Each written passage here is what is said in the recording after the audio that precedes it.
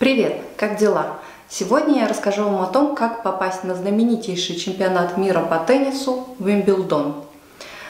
Наверное, каждый из вас э, думал о том, как же люди покупают билеты, стоят такие огромные очереди, когда Вимблдон начинается. Люди даже спят на поле в Вимблдон парке, в палатках, чтобы попасть туда и э, получить заветный билет.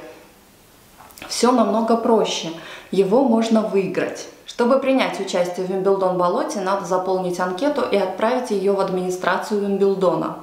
Так, дважды я выигрывала билеты на Вимблдон. Обычно я отсылала письмо в Wimbledon администрацию, обычный конверт с вложенным конвертом моего обратного адреса. В этот вложенный конверт они клали свою анкету на Wimbledon болот и присылали мне обратно по моему же адресу. Я заполняла эту анкету и до 20 декабря я должна была отправить ее обратно в Wimbledon администрацию. Так, если я успевала до 20 декабря, я участвовала в розыгрыше билетов, по которому я могла или не могла выиграть очередь на то, чтобы купить этот билет заранее. То есть э, сам розыгрыш проходил где-то с февраля и вот прямо до начала э, чемпионата, который проходит в конце июня или в начале июля. Бесконечный розыгрыш проходил, и если ты счастливчик, ты получал э, право на то, чтобы приобрести билет. В 2016 году я такое право выиграла. Мне пришло предложение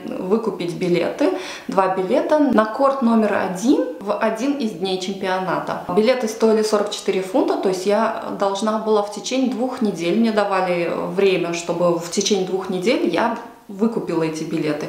Если я не выкупила, значит эти билеты уходили обратно в розыгрыш, и другие люди получали возможность выкупить эти билеты. Это стоило 88 фунтов, я выкупила эти билеты, и мне пришлось идти туда со своей подругой. На самом Вимблдоне достаточно интересно, но если ты как бы не такой уж фанат Вимблдона и не знаешь там игроков, я знала правила тенниса, я знала про Кафельникова и про Шарапову. К сожалению, в том году, а, когда я выиграла билеты, Шарапову забанили за допинг, и мне пришлось смотреть игроков, которых я не знаю, одной из которых была сестра Сирены Уильямс, Веннис Уильямс.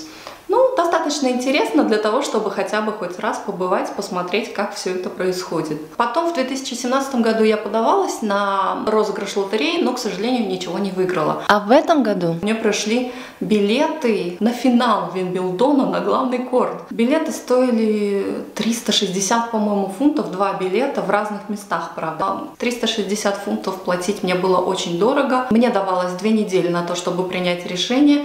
Я подумала, ну хорошо, хотя бы один билет, может быть, я выкуплю, будет стоить там 180 фунтов, хотя бы сама схожу. Все-таки Вимблдон финал.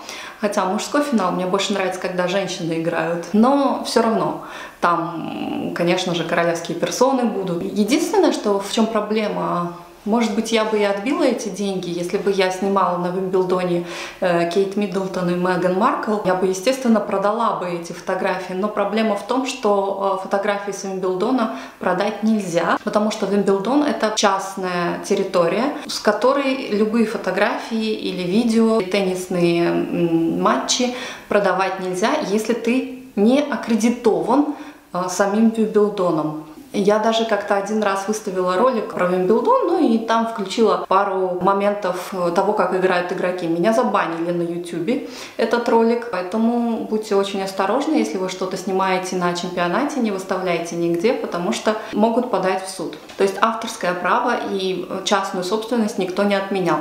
Поэтому отбить эти деньги я не смогла бы, даже если бы я сняла Кейт Миддлтон и Меган Маркл, а они как раз были Кейт Миддлтон была на э, финале, а Меган Маркл с Кейт была, были на полуфинале, по-моему, так.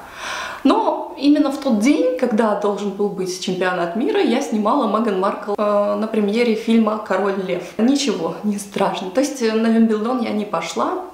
Думала, может быть, э, как-то мне Вселенная даст эти деньги, пошлет с небес, э, где-нибудь откуда-нибудь упадет не упала. Упала только где-то 50 фунтов. Я что-то там э, нашла, откуда-то мне пришли. Но 180 я не накопила за эти две недели, чтобы выкупить хотя бы один билет.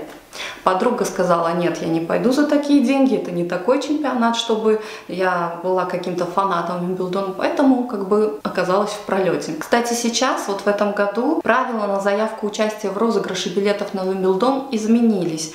Надо быть уже зарегистрированным на сайте MyWimbledon, и вот с 9 сентября по 21 октября надо было зарегистрироваться именно на розыгрыш билетов на баллот в онлайне, после чего с 1 по 30 ноября надо заполнить форму и отправить в администрацию Вимблдона.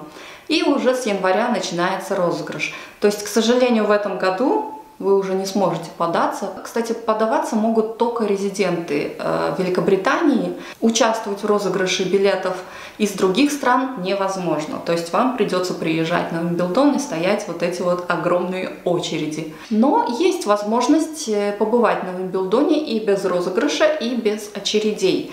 Точнее, очередь, может быть, и придется стоять, но не такую большую. Если вы подъедете к вечеру любого из дней чемпионата, то э, есть шанс там простоять часа два, не, не целые сутки, как люди стоят, а часа два, и получить какой-то билет. Потому что когда люди приходят на чемпионат, после того, как они уходят, они сдают свои билеты, и эти же билеты э, выдаются уже в порядке очереди людям, которые пришли и стоят в очереди. Поэтому вот так вот э, однажды я побывала на Вимблдоне, и вам желаю хотя бы раз получить такой опыт. Пока на этом все. Пока-пока.